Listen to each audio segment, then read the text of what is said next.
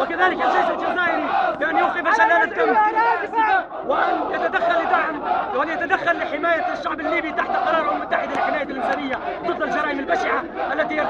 القذافي المجرم وأبنائه ومرتزقته. إننا من هنا نناشد رئيس الوزراء محمد نجيب ورئيس الوزراء التركي رجب طيب أردوغان في اجتماعهما في إسطنبول أن يفعلوا المؤتمر الإسلامي وأن يعزلوا النظام كما عزله كما عزلته الجامعة العربية سياسيا ودبلوماسيا ونزع الشرعية عنه. لقد سقطت ورقة التوت عن هذا النظام الفاشي وظهر وجهه القبيح الذي وراه على العالم طيلة 42 عام من حكمه البغيض على العالم أن يعلم أن ليبيا حرة وأن مصالحه مع الشعب الليبي وليست مع الطاغية. ليبيا حرة والقذافي برا ليبيا